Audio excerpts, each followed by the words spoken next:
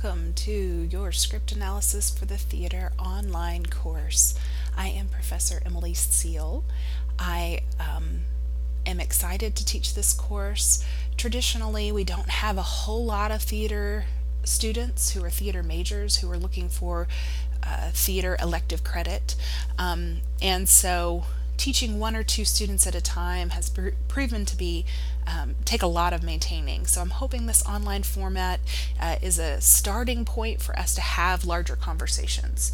So please don't feel like you can't make office appointments with me, that you can't, you know, um, email me anytime you have a question. I know the challenges of an online class, and I wish that we had, you know, um, 24 students to make help the class make. But um, as we grow the program, we're just not quite there yet. So forgive the format. I know some of you like the convenience of an online course, and I've set it up to be as convenient as possible. It's called asynchronous, the way I've set it up. So, you know, feasibly, if you want to finish all of the semester's work in, in a month, you can. You can work ahead. Um, It's very rare that I give extensions in an online class, so please make sure you've got these dates on your calendar, that you're being conscientious of the schedule and of the um, deadlines that you have because uh, I know it's easy to forget. It's not like with a regular class where we meet every single Monday and Wednesday and I get to see your face and check in on you. So I'm putting the onus on you to check in with me, right? Anytime you're feeling frustrated or overwhelmed, my office is always open. Um, so the the basis of the class is this James Thomas textbook, Script Analysis for Actors, Directors, and Designers.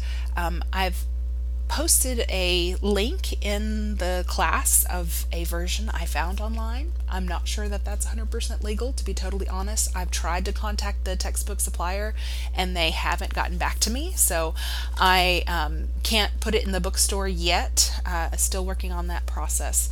So I hope you're able to either find it online or use that open resource link. Lord willing, it's open resource link in uh, your D2L shell. So I'm going to go over the plays that I've chosen for the class. I say I've chosen. James Thomas has included a dozen plays that he's analyzing in his textbook, and I picked about half of those plays for you to read here. Um, Raisin in the Sun, I'm surely you've heard of it. I hope you've heard of it. There are multiple media representations of it, films of it. Um, it's available. Almost any library or bookstore will have it. Hamlet is an open resource, which means um, you don't need to purchase a version of it unless you just want to. Uh, you can I even included a link, an open resource link for you to print it off from online if you like to have a printed version. I know I do. Piano Lesson by August Wilson. This play is available in the bookstore because we use it for THEA 1030 for our introduction to theater class. So, um, Lord willing, knock on wood, uh, you know, the creek don't rise, as the Southerners say. Uh, piano lessons should be available in Motlow bookstores. Death of a Salesman. Uh, this one, Arthur Miller's Estate, is an one of our newer plays, and so it's not available for free online. You'll need to go out and find a copy of that. But once again, most libraries are going to carry it. It won a Pulitzer. It's a very fundamental play. Uh, Ibsen is open resource. Uh, it's not Ibsen's most famous work, The Wild Duck, but I'm really glad that Thomas included it because it's a great, a great uh, version. Probably the Ibsen play you're most familiar would be Doll's House. That's sort of his um, most famous work. Bertolt Brecht, Mother Courage and Her Children. I did find a version of this online. I don't know if you'll be able to.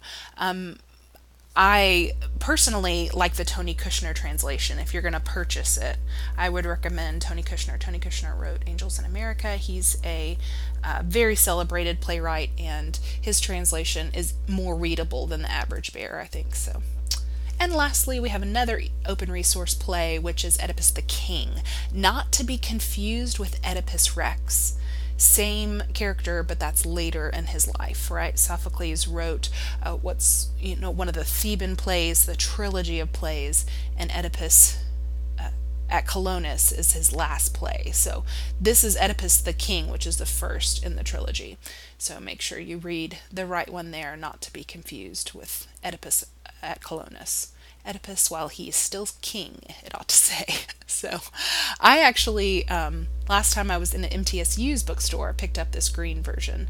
So um, I don't know if you'll be around Murfreesboro or where you probably, you millennial pirates can probably find all of these online because you have the skills to pay the bills when it comes to technology.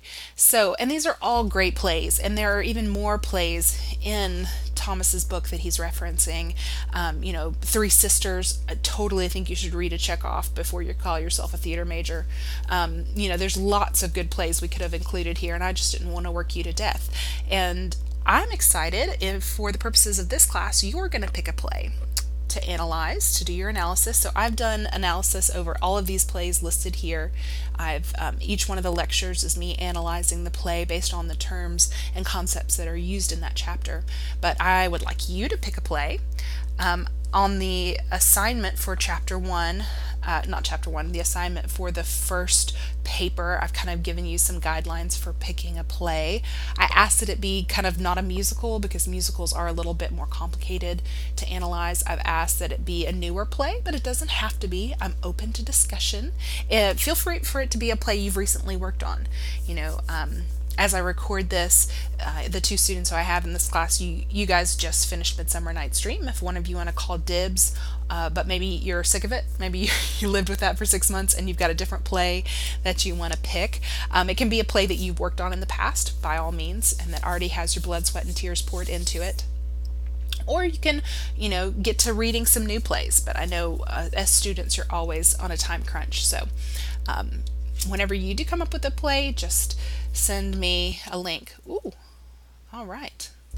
Uh, sorry for the technical difficulties. um, I have a little jokey meme there because please, as we deal asynchronously, as we email each other and message each other and put things on discussion boards, it can be really easy for our tone to be misunderstood. Please take the time to write articulately, use your best grammar. Um, when you email me, tr- try to make sure that the tone is respectful. Uh, you know, I know that it's just easier when you're not face to face to be disrespectful. So, so the kind of the check-in point every Sunday night at midnight, I have a quiz for you there, either a quiz or a paper. And that quiz is over all of the, the modules so far in the class. And we'll go over what's in a module in just a second. Um, every week you'll have a discussion question, and those are usually reflective of the readings. You have two papers to do for this class. Um, both are due in the second half of the semester. I really can't help that. They're cumulative papers. They're papers that you're learning the concepts along the way and then you're applying them. I would recommend, you know, this class is asynchronous. You can turn that paper in as soon as you are ready to turn it in, um, and I'll be happy to grade it whenever you turn it in. So, um, you know, if you want to go ahead and read the assignment for the paper, then as you're reading the textbook, which is sort of the way that you you use that as a manual to write the paper, right? Um, then that can help you guide your reading. I am asking you to come and make an appointment on ground um, for the final exam, and that exam is 20 questions, multiple choice. It's all terms from the Thomas textbook or concepts, terms or concepts from the Thomas textbook. So when I have terms to know for every module, those terms will the ones that'll be on the final exam. All of them will be quiz questions that you've already seen, so no surprises for the final exam. I don't include any of the quiz questions over the reading on the final exam because I know when you're reading plays, you get them mixed up and there's a lot of them and on top of reading your own play. So all the final exam questions are just over the james thomas text. So as you sit down to sort of prepare for the final exam you no longer have to worry about the quiz questions that say anything about the literature the dramatic literature. So what's in a module? Jazz hands.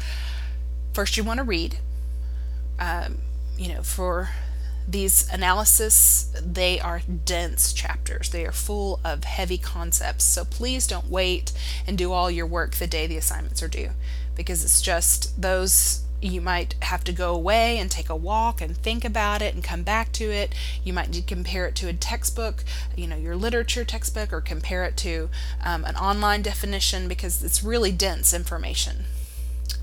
Obviously, you want to read the play before you take the quiz.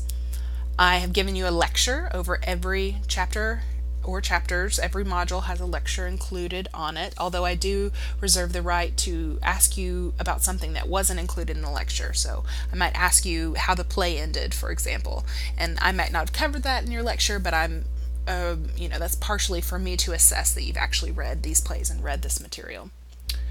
Um, then every module, I have a discussion question, as I've already described. described.